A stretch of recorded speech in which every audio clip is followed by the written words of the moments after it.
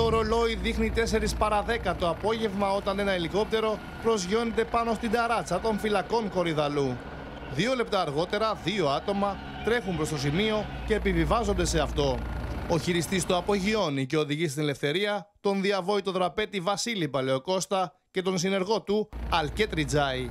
Στο βίντεο που φέρνει στη δημοσιότητα 10 χρόνια μετά την απόδραση των δύο κακοποιών η καθημερινή της Κυριακής φαίνονται οι τελευταίες κινήσεις τους. Στις 3 το μεσημέρι στις 22 Φεβρουαρίου του 2009 οι δύο συνεργοί του Παλαιοκώστα μπαίνουν στο ελικόπτερο.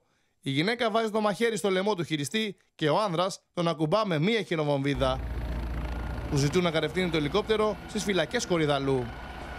Φτάνοντας εκεί, ο χειριστής εντοπίζει ένα σημείο με μία μπλε τσάντα που του ζητούν να το προσγειώσει. Όταν αυτό συμβαίνει, ο ένας συνεργός στοχεύει με όπλο επάνω στο χειριστή, ενώ η γυναίκα βγάζει κάτι από τη τσάντα της.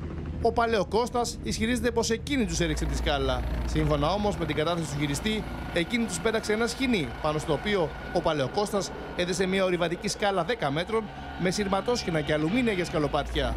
Εάν αυτό συνέβη, ενισχύεται το σενάριο πως είχαν βοήθεια εκ των έσω. Ο Παλαιοκώστας, παρά τα περί του αντιθέτου λεγόμενα, δεν πάλεψε με κανέναν για να φύγει. Οι υπάλληλοι υπό την απειλή χειροβομβίδας κράτησαν αποστάσεις. Κανείς εκείνο το απόγευμα δεν σκόπευε να ρισκάρει τη ζωή του για να το σταματήσει. Αυτό που πράγματι συνέβη είναι πως όταν το ελικόπτερο απογειώθηκε, ακούστηκαν χειροκροτήματα από άλλους κρατούμενους αλλά και πυροβολισμοί.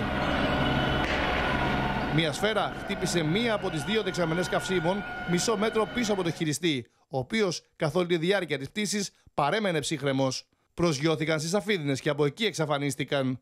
Ο Ριτζάη συντελήφθη στις 16 Νοεμβρίου του ίδιου έτους. Ο Βασίλης Παλαιοκώστας παραμένει ασύλληπτος και μάλιστα πριν από λίγες ημέρες κυκλοφόρησε και το βιβλίο με την αυτοβιογραφία του.